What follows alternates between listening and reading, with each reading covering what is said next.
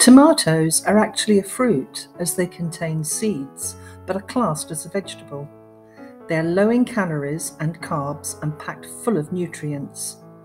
They have a high vitamin C content as well as vitamin K, vitamin B, beta carotene, and vitamin A, and contain an antioxidant called lycopene. Vitamin K supplies our bodies with calcium to keep our bones and teeth healthy, and also with potassium that helps keep our hearts functioning properly and balances our body fluids, giving us a healthy blood pressure and lowering our risk of heart diseases and strokes. Vitamin A supports our immune system, our eyesight by helping prevent macular degeneration and cataracts, and also our skin. Tomatoes can prevent skin damage as they boost molecules that keep your skin firm and looking younger. Also, rubbing a tomato on sunburn will take all the sting out as they calm minor burns and they can help to eliminate the toxins from cigarette smoking that can build up in the body.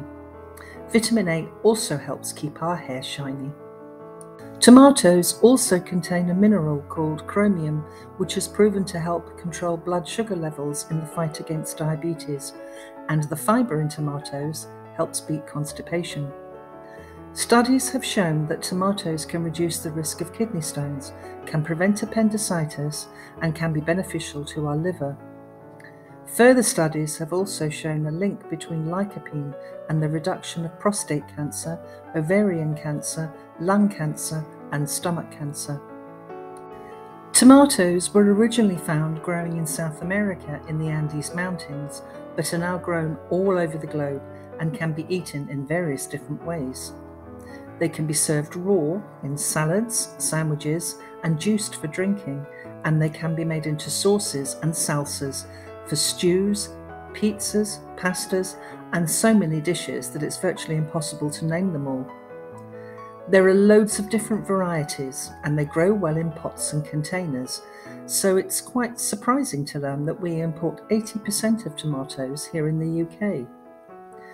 Supermarkets can be seen selling tomatoes from Holland, Spain, and Morocco, with only a few containers from Lancashire, Yorkshire, Norfolk, or Thanet in Kent.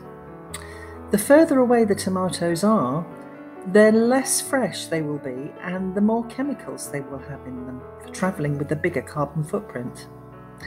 It seems the market is the best place to buy from to ensure that you get them fresh and locally grown and there are no rotten tomatoes.